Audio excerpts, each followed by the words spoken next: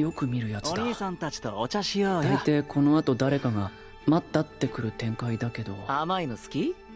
僕いるんだけど久保さん困ってるよな。あのいつの間にここに？いつ？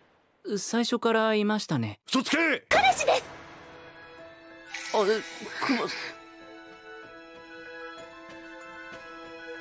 え？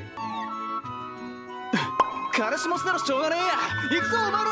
応援してるぜこの野郎。なったのは良かったけどこれは。白石くん。お。さっきはありがとね。あれて怖くないわけないよな。僕も怖かったし。あの久保さん腕